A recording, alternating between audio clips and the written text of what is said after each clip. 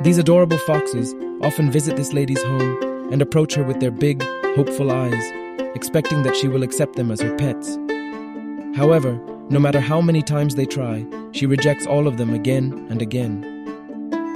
Sometimes, even though they manage to get her cat on their side, the foxes still find it impossible to convince her. Then one day, one of these foxes witnesses a Shiba dog manipulating humans to get them to pet him and offer free food with his charming smile. Motivated by this, the fox decides to use the same tactic and approaches the lady again with a very cute smiling face, hoping she will fall for it. Surprisingly, it works like magic. The lady can't resist his cute smile and finally takes him home,